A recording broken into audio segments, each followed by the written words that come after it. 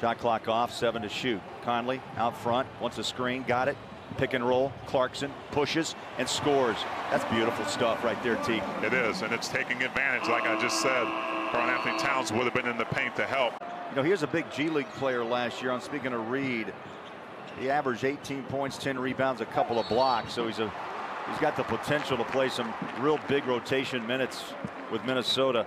Defensively after a missed shot, but Minnesota's getting in their sets and they're able to have that space either to shoot the three. Three three pointers. I'd say the other impressive part, Clarkson had seven rebounds. Drops two on that trip to the line.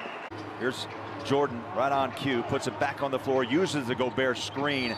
Oh, the jackknife bucket and an opportunity tape for three, a three-point play. He could have gone anywhere. And I'm still saying he's going to be in that talk for six man of the year. No question. Uh, to Chris and Kenny's point, he's got such a great IQ and a great sense of where to be on the court. Derrick Favors does. Clarkson got bumped, no foul. Goes inside, stays with it. Layman trying to really bump him out of bounds. Yeah, that's that security we were talking about, taking care of the ball. Each possession is so important at this point. That comes the Jazz with Clarkson, always in the search mode, off the window for two. Beautiful. He's had a great night on the boards now with 12. Clarkson, stop and pop three, looks good is. A great shot coming off that screen and rhythm. Edwards has put on a, a strong showing here tonight. Jazz roaring back. Clarkson going to try to put the Jazz on his back.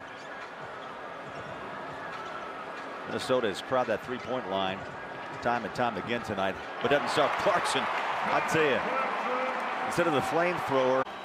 A great tandem with Ad, Ad Edwards, who plays beyond his years.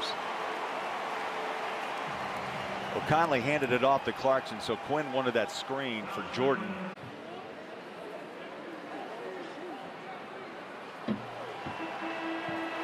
One more for Clarkson, 22.